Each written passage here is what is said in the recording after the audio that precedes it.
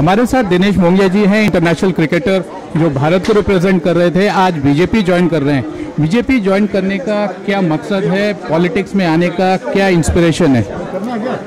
Bharatiya Janata party को join करने का मकसद भारतीय जनता पार्टी की विचारधारा और श्री नरेंद्र मोदी जी पर हमारे प्रधानमंत्री जी की जो विचारधारा है सबका साथ सबका विकास आ, उस विचारधारा से मैं बहुत प्रभावित हूँ। पिछले आठ साल से दस साल से भारतीय जनता पार्टी माननीय प्रधानमंत्री जी दिन रात सेवा कर रहे हैं देश की और देश को ऊपर प्रोग्रेस की तरफ़ लेके जा रहे हैं।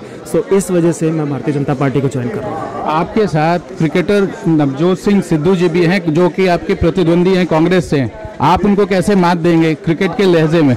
नहीं नहीं नहीं। नवजोत सिंह सिद्धू जी शहरी पाजी हमारे बहुत सीनियर हैं और हमारे लिए बहुत माननीय हैं रिस्पेक्टेड हैं। सो ऑफ़ कोर्स आज वो दूसरी पार्टी में हैं लेकिन हम उनकी पूरी रिस्पेक्ट करते हैं। पार्टी कैसे मज़बूत होगी पंजाब में? आपका क्या कंट्रीब्यूशन होगा और कैसे यदि इलेक्शन में क्या सिचुएशन होने वाला? ये सब के बारे में मैं अभी नहीं जानता। अभी मैं सिर्फ़ ये बता सकता हूँ कि जहाँ पे भी मेरी पार्टी भारतीय जनता पार्टी अब मेरे को आदेश देगी काम करने के लिए बोलेगी मैं वहाँ के लिए तैयार हूँ। Camera person Rajesh Tripathi Pranab Prakhar reporting for vision television world